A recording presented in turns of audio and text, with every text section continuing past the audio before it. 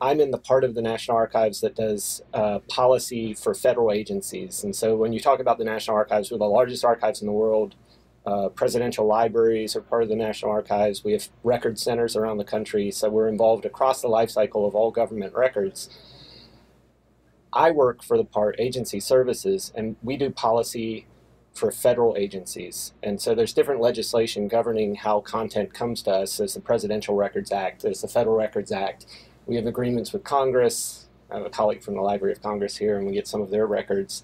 Um, we have separate agreements with uh, the Supreme Court, but the guidance I write is those 330 or 40 or however many federal agencies there are. So I don't deal with the White House, I deal with general federal agencies. And just due to the complexity of that, the answer is always it depends. And so it's very, very difficult for us to say, you will give us PDF A1B uh, because you know some people will look and they'll say, okay, we're going to do our stuff that way, and some people are going to just walk away. So it's hopefully in my my thing. So shall I go ahead and dive in? Okay, so I gave a bit of who I am. I'm Kevin DeVorsey. Uh, I'm a supervisory electronic records format specialist at the National Archives. Um, I'm actually physically located in New York. Um, so that was a little bit of background about the archives. Leonard, when he spoke, he mentioned billions of uh, PDFs kicking around. And if you like to think of it, the, Library of Congress is here in the room in the National Archives. We're kind of the final resting place for billions and billions and billions of PDFs that are created um, by the U.S. government. So we deal with those files that uh, relate to permanent records. And so we have a keen interest in content being created and making sure that it's you know, good. Um, I, I, should say, you know, I'm here and uh, there's a standard disclaimer. It's like i am speaking as Kevin DeVorsey. I, I'm not authorized to speak on behalf of the Library of Congress, but I will describe all the work that I've done in developing a new transfer guidance to guide agencies in giving us content. So, um, transfer guidance revision. Uh, NARA has a long history with electronic records, um, going back to the late 60s, early 70s. But for many, for decades, uh, electronic records equated mainframe data coming from NASA, Social Security, uh, Department of Defense. And so our transfer guidance up until 2002, 2004 was very simple. You could go to the Code of Federal Regulations where the rules for government are one inch magnetic tape, EBCDIC, or ASCII character set. That was our format guidance. Um, as a part of a previous uh, presidential e-government initiative, they did a revision back between 2002 and 2004, and they expanded NARA's transfer guidance to you know, recognize the change in the way electronic records were being used. And so they, they came up with, um, it was a collaboration. It wasn't just the National Archives sitting down and saying, what formats do we want people to use? But there was uh, guidance on email, web records, special guidance on PDF. Um, there was guidance on geospatial, scan text, and that was pretty much it. So between 2004 and 2014, that was what was in place for the U.S. government. Um, I was hired in 2010 and given this task of revise the format guidance. And you know, it, was interesting because when I was introduced, uh, people described it as the transfer guidance and format guidance interchangeably, and it's, it's like, what does that mean? So a lot of my job was trying to learn what was this thing that's been in existence for the past 10 years? What are the issues that people have had with it? And then what can we do in a kind of rigid, rigid governmental structure to improve the situation. So, you know, for this talk, I'll, I'll explain the goals of what, what, when we were in our learning process. Um, and one of the big goals was defining the scope of what we were doing and then trying to figure out, you know, what does the government need and what does the National Archives need to improve the situation. And you know, the situation that I'm describing was we had this guidance that had been up for years, but it was proving to be a logjam.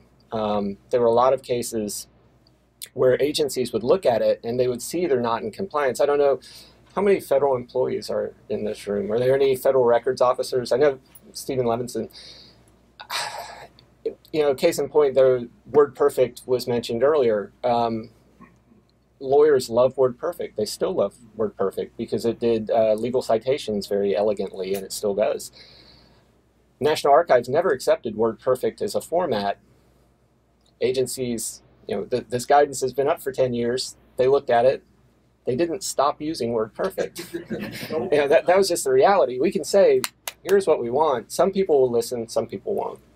Um, the biggest problem was it was this, you know, things go up into the Code of Federal Regulations, and it, it's a lot of work to revise things. And so part of our challenge was how can we do something that's a little more flexible?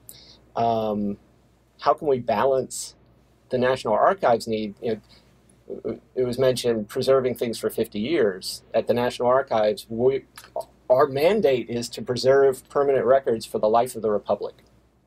So what that means, who knows? But uh, so we have a, a keen interest in uh, open standards and making sure that in the future we're going to be able to go back and interpret things.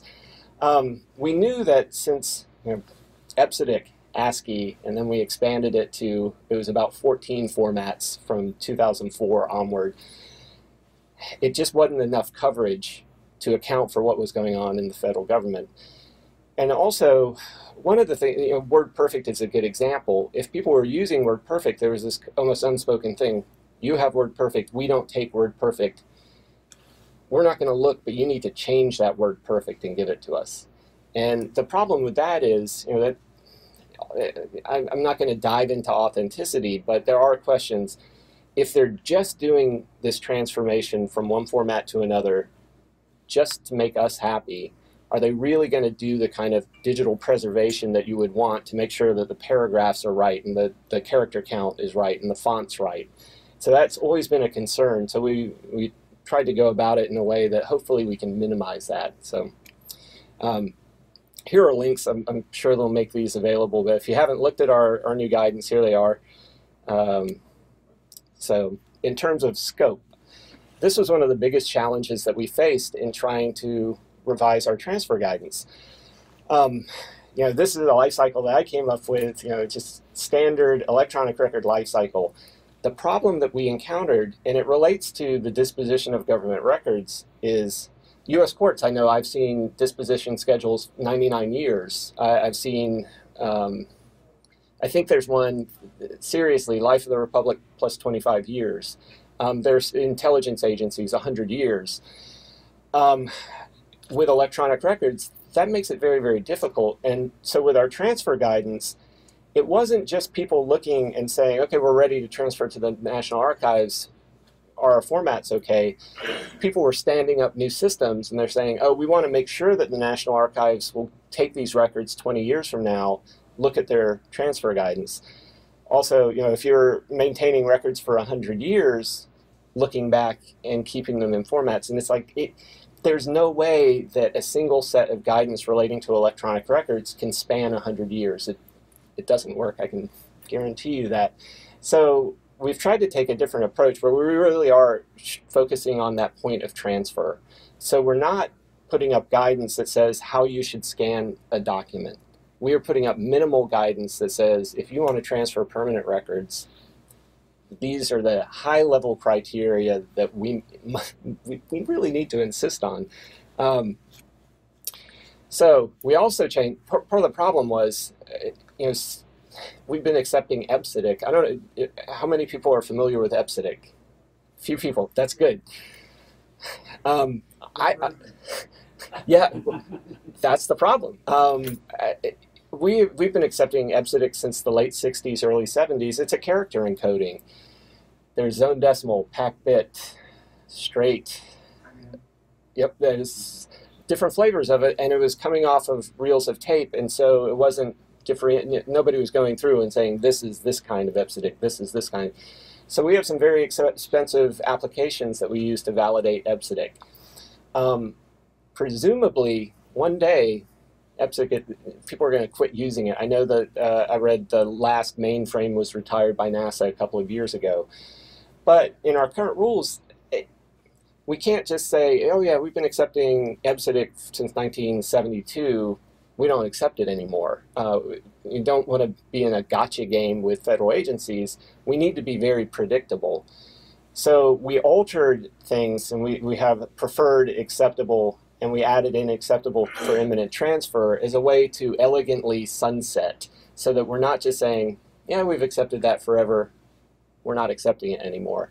It's a way to, to notify agencies if you've been using this format for the past 30 years, be aware that at some point in the future, we're going to discontinue our support for it. So that seemed um, like a good approach to that problem is that National Archives, just because we accepted something for a long time, are we obligated to accept it forever, or do we have that flexibility? So this was an attempt. The other problem is, you know, what categories of e records do we bring in? Um, and this is, we have an organizational structure of custodial units that are responsible for caring for records. We go through transformations every five years, and so it didn't seem like we wanted to tie our record categories to that organizational structure because it does uh, change. So we worked to analyze, um, you know, what, what are we getting, what are the big issues, and then come up with categories that seem to fit and hopefully match disposition schedules and match the reality of what's going on. The bigger trick was then, you know, how do you choose what formats should be accepted? And the previous talk, I think that, you know, I can't, I don't have time to really dive into sustainability and all of the different measures that we use. But I can guarantee you it wasn't an arbitrary decision. And, you know, I'm here, it's PDF day. My talk's not about PDF in particular. Um, but I think some of the previous conversations about PDF and it being an ISO standard and all of the work, it's very relevant. And, and you'll see, and this, you know, when we were looking at formats of what should the National Archives accept, it wasn't, we weren't, I, I promise you, we were not sitting there thinking, how can we arrange things so we bring in more PDFs? That it, it really was. It's like, how can we analyze formats and determine formats for each category that are appropriate? So on the left, I have the, the old transfer guidance, and these were just separate bulletins that were released over about two years. And on the right, the new category. So you can see we expanded things. Excuse me. Um, so the big thing, you know, it always bothered me that there was a single transfer standard for PDF because, as Leonard said, PDF is an envelope. You can put lots of different content. And so it, it, it always kind of stuck out. The intent behind it was kind of scan text, and it was like if you're giving us PDFs, but the way it was presented was confusing, and it did wind up confusing a lot of uh, federal agencies who thought, oh, they have PDF guidance. That means anything we can shoehorn into a PDF, they'll take. And that, that was not the intent behind having that, so it, it proved a problem. So the way we've done it now is we've identified additional categories, hopefully accounting for the vast majority of permanent electronic records that are out there so that a records officer coming to our guidance will see a home for their content. Um, historically, I'll say it's interesting because a lot of things have come up over time and it always raises a question. It's like, well, what did you do before? And in a lot of cases, the answer is, well, up until this point, we gave you paper. And so we're, we're just now starting to see um, geospatial files and uh, architectural drawing files from the early and mid 90s. And it turns out this is the first time under this schedule that an electronic file has been given to the National Archives. Previously, they always gave us pieces of the paper. So it's late. You know, we're on the, the far side of the wave, um, but it's starting to come down on us now that all of these records from the late 80s, early 90s are hitting us. And it, it's curious because um, I have a colleague who describes the National Archives as an adhocracy. You know, there is no normal. There's 300 agencies, and it's impossible to predict when, you know, we have teams that uh, go out and they poke agencies that we haven't heard from in 30 years, trying to, you know, what's going on? What do you have? You must have something. Give us your stuff. Um, so we did do, and it, it, we worked um, looking at the Library of Congress has a wonderful sustainability page where they've broken down criteria to analyze file formats. Um, the Archives of the Netherlands has one. National Library of New Zealand has one.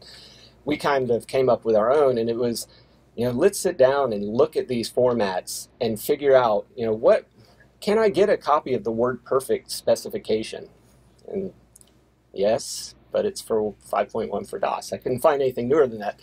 Um, and so we kind of graded, came up with a grading for formats, uh, and then you know plugging them in. Um, the major changes I, I mentioned before, we don't really want agencies to do transformations, and so we developed this guidance as a way of giving options, and it's options for both the National Archive staff, but then also for agencies.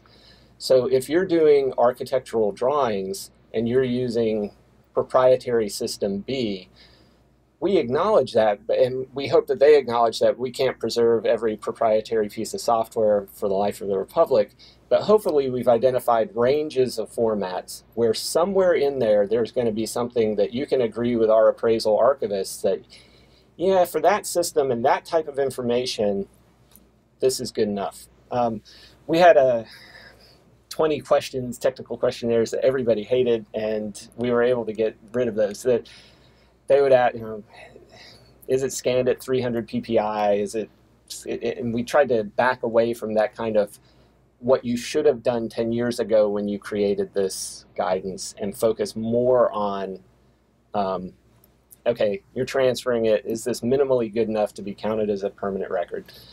So, you know, it's PDFA day. I, I didn't come here to talk about PDF in particular, but I did throw in a side of, you know, and it's interesting. Being an ISO standard makes a big difference. Um, if you look at our transfer guidance and go through it, the majority, of, the vast majority of the formats are ISO standard based formats.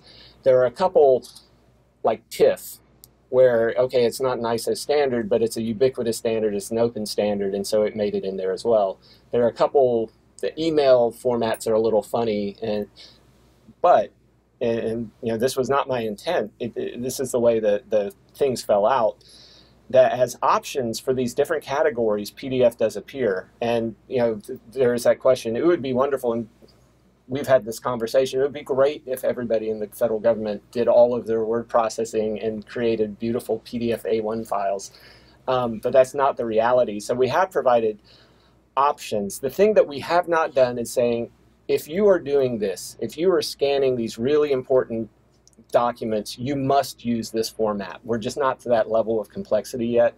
So we've put this up there, and that's kind of a next step is do additional lifecycle guidance where we can tell people, if this is what you're doing, if you're, you're digitizing these audio tapes that are about to die, you you really need to go to this level. Um, but that's you know it's a separate project.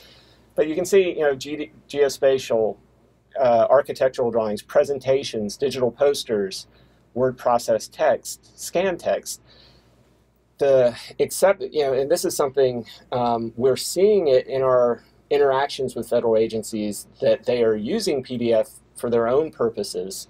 Um, in conversations with our custodial units and the people that provide access to records, PDF is a known quantity. It's you know good. We don't have to be specialists in every proprietary format, but we can develop a level of expertise in a single envelope and understand it much better, which is to our benefit. Um, so, but there are challenges. You know, I, our colleagues at the Library of Congress, I got a phone call. Uh, NASA has offered us two and a half petabytes of video files. And if you want to see some jaws drop at the National Archives, offer them two and a half petabytes of anything. Happily, the format was in my transfer guidance, so was, it's good as far as I'm concerned, but it's two and a half petabytes is a lot of data. So, you know, it simply is more data coming to us then our archivist can get, you know, we can't double click on every file. That's not realistic. And so we really do rely on um, automated tools to identify and validate and make sure that things are what they say they are. And so it's that fear. It is an envelope, and do we know what's inside the envelope is a challenge for us. And we have these conversations a lot. Um, you know, PDF A3, I can imagine some wonderful uses across the government for PDF A3 I can also imagine some horrible problems for us in the future if we, if, if things were done in a non-standard way or we weren't aware of what the use was. so, uh, you know, these idea of you know variation between the creation of a file or validation. Um, new initiatives. There's a lot going on here. The uh, I know Duff is involved in this, but it's the conformance checking, which would be great for any large archive to be able to automate the validation and identification of files and know that they're being created correctly up front. That would be great. And then ISO 32000-2, PDF 2.0, a lot of new capabilities coming along that I'm sure agencies are going to be interested in, and so the National Archives is going to be interested in as well. So, so that's my talk. It's a you know off on a tangent into federal record keeping standards and transfer to the National Archives.